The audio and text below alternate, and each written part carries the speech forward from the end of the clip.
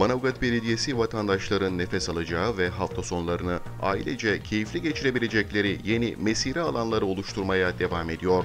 Manavgat Belediyesi Örenşehir Mahallesi'nde deniz manzaralı mesire alanının yapım çalışmalarını tamamladı.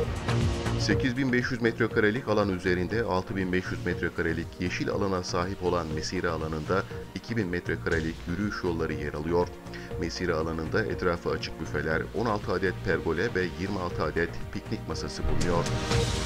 Duş ve soyunma kabinleri, lavabo üniteleri, çocuk oyun gruplarının da yer aldığı mesire alanında Manavgat Belediyesi Park ve Bahçeler Müdürlüğü ekiplerinin bitki ekim çalışmaları ise sürüyor. bu kentin huzura ihtiyacı olduğu düşüncesiyle Manavgat Belediye Başkanı Şükrü Sözen, bir yandan kentimizde yeşil alan miktarını arttırmaya, bir yandan da halkımızın aileleriyle birlikte keyifli zaman geçirebilecekleri yeni mesire alanları oluşturmaya devam edeceklerini belirtti.